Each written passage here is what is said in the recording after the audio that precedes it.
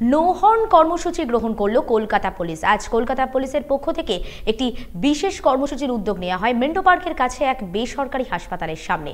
সেখানে লামার্সের ছাত্রছাত্রীরা, অর্থাৎ লামার্স বয়েজ এবং গার্লস, এই দুই স্কুলের ছাত্রছাত্রীরাই, যারা পথ চলতি মানুষদের বোঝান, যারা গাড়ি করে যাচ্ছেন, তাদের গাড়িতে নো হর্ন স্টিকার লাগিয়ে দেওয়া হয়। বেসরকারি হাসপাতালের সামনে প্ল্যাকার্ড হাতে দাঁড়িয়ে মানুষের উদ্দেশ্যে বার্তাও পৌঁছে দেন তারা।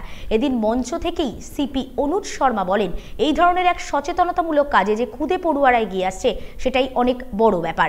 এই অনুষ্ঠানে পড়ুয়ারা ছাড়াও ছিলেন চল্লিশটি গার্ডের চল্লিশ জন ট্রাফিক সার্জন, যাদের মাধ্যমে অনুষ্ঠিত হয় এক মোটর বাইক র্যালি। এদিনের এই বাইক র্যালি মেন্টো পার্ক থেকে শুরু হয়ে শরৎ বোস রোড হয়ে southern avenue Rashbehari crossing, Hazra crossing, Hastings park road, lovers lane হয়ে পুলিশ ক্লাবে গিয়ে শেষ হয়। এই র্যালির মূল বিষয় ছিল নো হর্ন এবং safe drive save life. For coming forth. In joining with us in this campaign against no honking.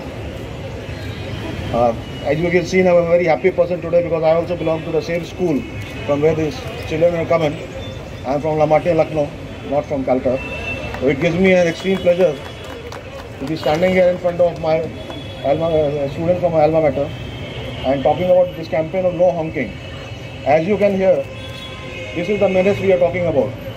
There are people moving on the road behind us, unnecessary honking. The traffic is moving, but still they are honking. There are many reasons behind that. Maybe some people are rude, some are in hurry.